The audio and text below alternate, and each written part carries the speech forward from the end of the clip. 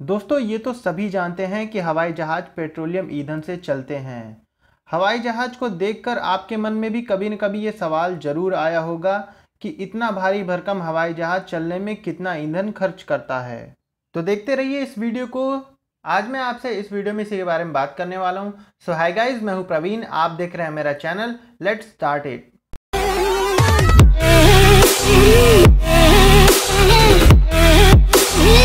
वक्त था जब सिर्फ़ अमीर लोग ही हवाई सफ़र करते थे, लेकिन अब ये मिडिल क्लास तक पहुँच गया है। अमूमन किसी भी समय में हवा में सफ़र करने वालों की संख्या 10 लाख के आसपास होती है। ये तो हम सभी जानते हैं कि हवाई जहाज़ पेट्रोलियम ईंधन से चलते हैं। हवाई जहाज़ को देखकर आपके मन में भी ये सवाल तो ज़रूर आता होगा कि इतना भारी भरकम जहाज़ चलने में कितना ईंधन खर्च करता होगा।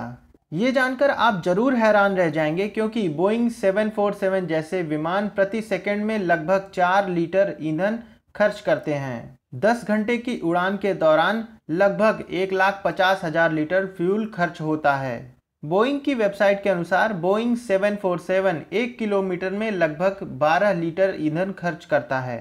यानी एक बोइंग 747 में 12 लीटर ईंधन में 500 लोग एक किलोमीटर का सफ़र तय करते हैं। इसका मतलब है कि एरोप्लेन प्रति व्यक्ति प्रति किलोमीटर 0.027 लीटर का ईंधन खर्च करता है।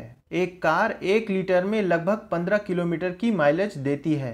इसलिए अगर देखा जाए तो बोइंग 747 में किसी एक व्यक्ति का सफ़र कार की तुलना में बेहतर होता है। लेकिन जब कार में चार या चार से ज़्यादा लोग बैठ जाएँ तो कार बेहतर विकल्प होती है। लेकिन यहाँ इस बात को ध्यान में रखना चाहिए कि बोइंग 747 900 किलोमीटर प्रति घंटे की रफ्तार से चलती है।